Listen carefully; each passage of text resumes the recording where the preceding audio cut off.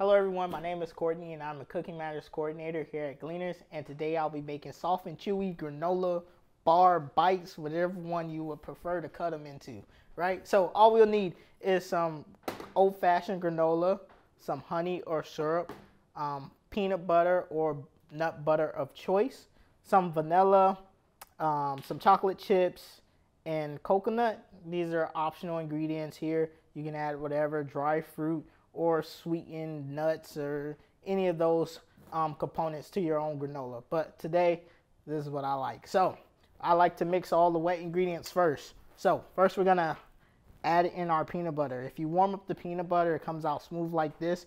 And also if you oil the, the dish a little bit, it comes out smoothly like this. So same thing with the honey. If you oil the, the dish with the honey, it comes out smooth, right? So we're just gonna add in all our wet ingredients. And it's just to make the mixing a lot more easier um, instead of us fighting. So, want to give it a mix, right, until it's well incorporated. Should become one homogeneous mixture, right? Ooh, scientific word, homogeneous. Um, mixing ingredients that are not the same into one. So, once we get it all nice and smooth and it look like caramel sauce, right? We're gonna add in our nuts.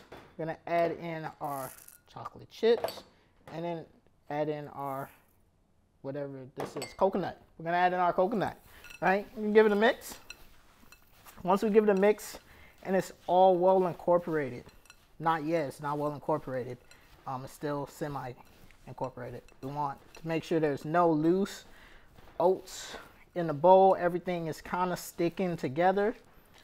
And this is an easy recipe because it's no bake. It literally goes in the refrigerator for 16 to 24 hours.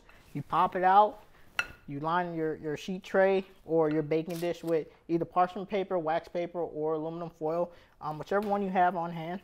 Um, and we're gonna lay it out like this, right? And want to pat it flat, just so like our bars are nice and thick. Um, don't be afraid to get in there with your hands if you have to. It's okay.